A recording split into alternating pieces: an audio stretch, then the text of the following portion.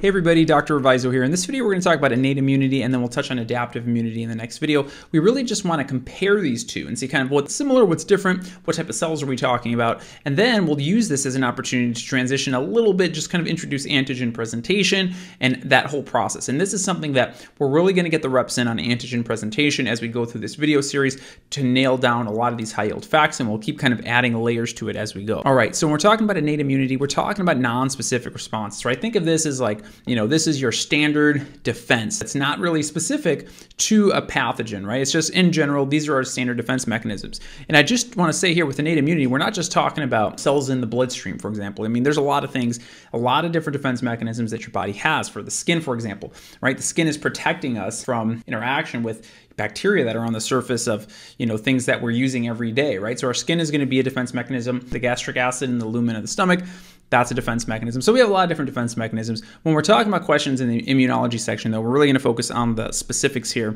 particularly in the blood and in the tissue parenchyma. So like I said, for innate immunity, it's just like your standard defense you're mounting. Again, non-specific, it's very rapid, right? As soon as you're exposed to a pathogen, you're going to have a rapid uh, response. This is compared to adaptive immunity, right? In adaptive immunity, it takes time to build up that memory response for future exposures. Every response should be equal to the initial response. You're not going to get any memory here with innate immunity immunity. Okay, so that's important. Again, no memory with innate immunity, and all of this is juxtaposed again to adaptive immunity. Now, when you're talking about, okay, well, what kind of things would set off this innate immunity? What are some of the classic examples here? Okay, so let's just say that we have some immune cell here. Okay, so this is going to be our immune cell, and this immune cell is going to at some point interact with this bacteria. Now, let's just say, for example, that this bacteria is a gram negative bacteria. Maybe it's a gram-negative rod, for example. Now, one of the features of gram-negative rods is that they have lipopolysaccharide, right? They'll have LPS.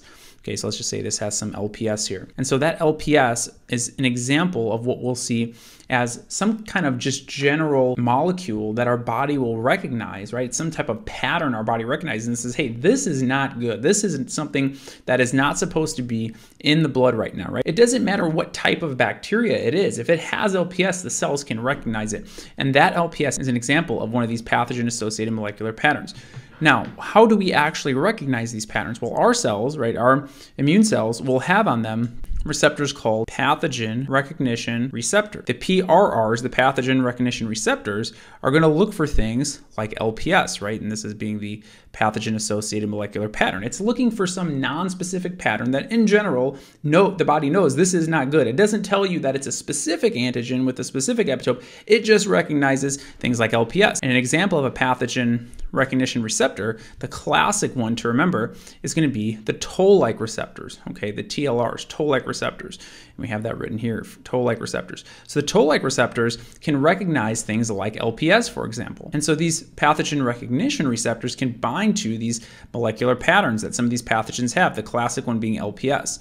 And when they do that, they'll recognize that this is something that is not right. And so this is going to set off the alarm bells, right? And so this is going to generate some type of immune response, right? We're going to release things like interleukin 1, which we'll talk about, TNF alpha, right? We're just going to generate some kind of inflammatory immune response. Okay, that's the key. Another one here would be interleukin 8. Okay, so this is going to generate some acute inflammatory response. Notice what I said. This was non-specific, okay? It wasn't specific to one bacteria versus another. It's any bacteria that has lipopolysaccharide in their wall. It's rapid. As soon as it binds, we set off an acute inflammatory cascade. It's always going to be pretty much equal. It's always the same, right? It's not going to be different if I'm exposed one month versus another, okay? It's always going to be the same. There's no memory to these receptors. We're just identifying a pattern that we know shouldn't be there potentially. Now, how do we go from this immune cell to releasing all of these different cytokines in the blood. There's one particular transcription factor out here in the cytoplasm. So we have NFKB. Okay, so NFKB is going to go from the cytoplasm into the nucleus, and that's going to code for all of these kind of different acute inflammatory reactants. Okay, so that's how this whole process happens. So just to recap, right? So our immune cells in our blood, they have some non-specific pathogen recognition receptors. The classic one here is the toll-like receptor. There's different variants of these, but these pathogen recognition receptors are going to identify pathogen-associated molecular patterns like LPS, like bacterial flagellin is actually another very classic one. Viral nucleic acids, these are all very classic. So they're going to recognize these. And so These immune cells will then bind using these receptors, bind to these patterns, and then that's going to cause NFKB, this transcription factor, to go into the nucleus and then encode for these acute inflammatory reactants. And we'll go through all of these uh, in the upcoming videos. Interleukin 1, TNF alpha, interleukin 8 are all very classic. And these are the things that help stimulate the body to reset the hypothalamus set point, right? So you end up having a fever and we're generating an inflammatory response to kind of attack this infection. Again, very non-specific, very rapid. Now, in the category of innate immunity, there's some different things that you want to be familiar with. How do we actually go about targeting this bacteria for destruction? What can we do to actually destroy this bacteria once we've recognized it? Well, the big thing here in our bloodstream, we have IgM. Now remember, IgM is an immunoglobulin. So IgM will actually bind specifically to its epitope. Okay, so we'll talk about this in the adaptive immunity section. However, IgM in general might just be floating around in the blood. IgM is going to kind of be like your standard immunoglobulin. So I want you to kind of think about it like your standard immunoglobulin. And the one thing that makes this different from some of these other things on here is that it actually is specific to one pathogen. Okay, so immunoglobulins in general are specific to a pathogen. However, IgM isn't involved in memory responses per se. It's just kind of your standard immunoglobulin that's going to be released usually in an initial infection. Okay, and then later on we'll have class switching. Right, when we have class switching, we can upgrade this to IgG, IgE, IgA, right? We'll talk about all of this in the next video. When IgM binds, it does bind specifically, so just keep that in mind. That's kind of tricky, but it's sometimes categorized here in the innate immune response because it doesn't involve class switching and having any type of memory response per se. Okay, the other things on here, complement membrane attack complex, C3b, we'll talk all about this. Lysozyme, which can uh, change the pH of some of these cells for destruction. Lactoferrin, also very classic. Um, so these are just things to be familiar with, part of the innate immune response. And then the respiratory burst pathway, which we'll talk about in great detail in a video to come up on neutrophils. By the way, this thing that we're looking at here, this is going to be a neutrophil. Okay, so we're looking at a neutrophil, and uh, I'll talk about how to distinguish these in just a second. But this neutrophil, how is this neutrophil going to attack this bacteria with this innate immune response using some of these things we talked about? So the first thing this neutrophil can do is it can use phagocytosis. Okay, so thinking of the Pac-Man, right? This neutrophil can eat up this bacteria, and once it eats up this bacteria, it can take the components of that bacteria and put that into phagolysosomes. Okay, so it can put it into phagolysosomes and then it can use chemicals like lysozyme to try to break down the components of this bacteria, right, as it's digesting it. The other thing that it can do is it can use the oxidative burst pathway, which is what we are just talking about. So it can use the respiratory burst pathway to generate things like superoxide radicals, hydrogen peroxide, to essentially break down the components of the bacteria. So the key is with neutrophils, we have phagocytosis, right? They can use chemicals like lysozyme, for example, and they can also use the respiratory burst pathway, oxidative burst, to help break down these bacteria components. Now, the key thing that you want to remember though, with neutrophils, neutrophils do not present these bacterial antigens to other cells. That's important. Okay, and that's going to be different from some of these other cells down here, which we'll talk about in just a second. So, in general, when my neutrophil in the blood runs into this bacteria, that neutrophil can engulf it it can try to digest it using phagolysosomes and the respiratory burst pathway. As this is happening, right, this acute inflammatory response occurring, the bone marrow is going to increase the number of neutrophils. It's going to say, hey, we need more of these neutrophils. We need more of these guys so they can go eat more bacteria. The bone marrow just starts pumping out neutrophils. And in the process of doing that, it's also going to release some immature neutrophils. And these are sometimes called band cells. Okay, so these immature neutrophils are called band cells. And I'll talk about this a lot in the hemonc section.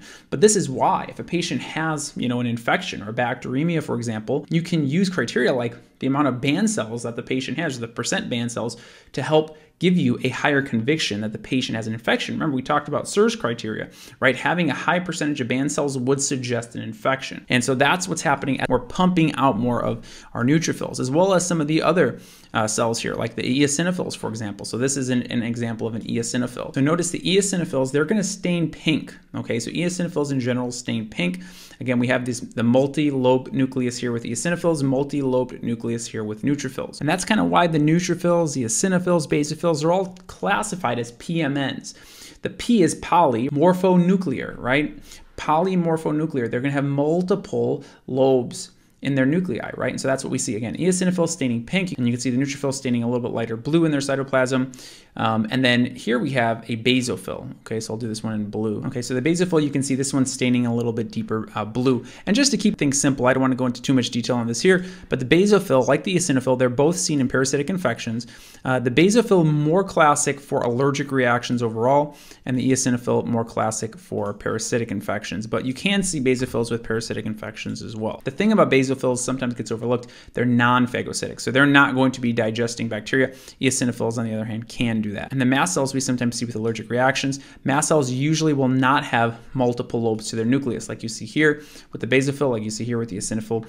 Uh, mast cells are not included in that PMN category. So all of these cells are going to be getting pumped out usually when we have some kind of inflammatory cascade, like we talked about. All started up here when that immune cell used its pathogen recognition receptor to run into, in this case, LPS being one of the pathogen associated molecular patterns causing interleukin 1, TNF alpha interleukin 8 to get released because NFKB, the transcription factor, coded for them as this interaction took place between the pathogen recognition receptor and the PAMP. All right, just a couple other things here. So the monocyte, so this cell is a monocyte.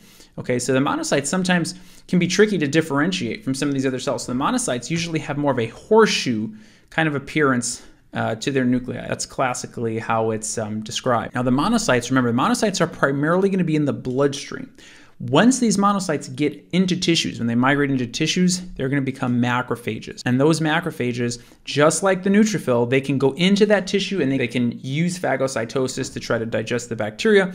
And the difference between the macrophages and the neutrophils is the macrophages actually can take the antigens from the bacteria and put them on the cell surface to present them to other cells. So we'll see that in the next slide. Now, monocytes don't just turn into macrophages, they can turn into dendritic cells, which are also antigen presenting cells. So just keep that in mind. When we talk about antigen presenting cells, the dendritic cell is kind of like the poster child for that whole process. So remember, dendritic cells can come from monocytes as well. Then we also have things like natural killer cells, which I'll talk a lot more about uh, when we start to talk about major histocompatibility complex and that type of thing. So we won't go into too much detail on that here.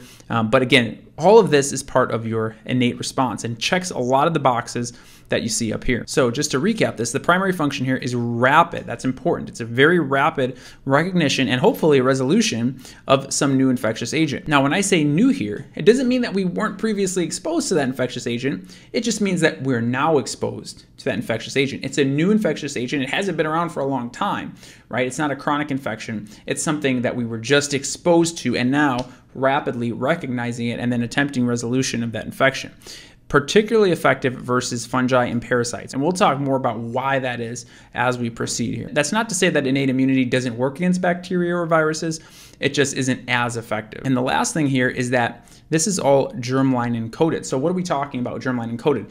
That means that the innate immune response can vary from one person to the next person. But the key is is that this whole process in the innate immune system is not going to change over time. Once you have your genetics for innate immunity, that's it. That's what you got. Okay, it's not going to get better. It's not going to get worse. I mean, it, over time, right, as we age, our, our ability to respond to infections kind of comes down a little bit for other reasons. But in general, we're not going to generate more memory responses or anything like that. Remember, this is no memory response. It's equal to the initial response. It's always going to be the same. So whatever you have that's germline encoded, that's what you're going to have pretty much for the rest of your life. And so this all develops in utero when we're still a fetus is when this whole process is going to form, which is going to be different from what we talk about in the adaptive immune system in just a minute. So this is all inherited from mom and dad. And the last thing I just want to touch on here, I kind of brushed over this, but really quickly, we talk about these neutrophils as polymorphonuclear cells.